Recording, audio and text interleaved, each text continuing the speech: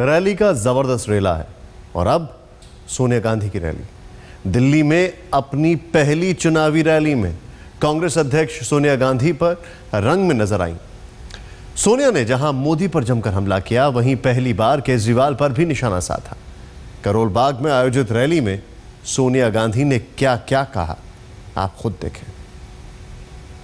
आजकल कुछ लोग देशभक्ति का कुछ ज़्यादा ही ढोल बजा रहे हैं।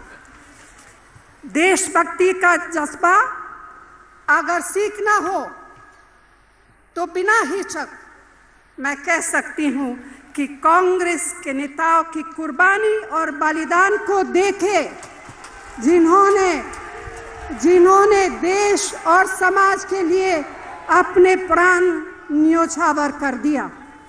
आपके सामने मैदान में कुछ ऐसे लोग भी हैं जो सोचते हैं कि सरकारें चलाना बच्चों का खेल है। ऐसा नहीं है। आपने खुद अभी दिल्ली में देखा है कि ऐसी सोच वाले कैसे मैदान छोड़कर भागे हैं।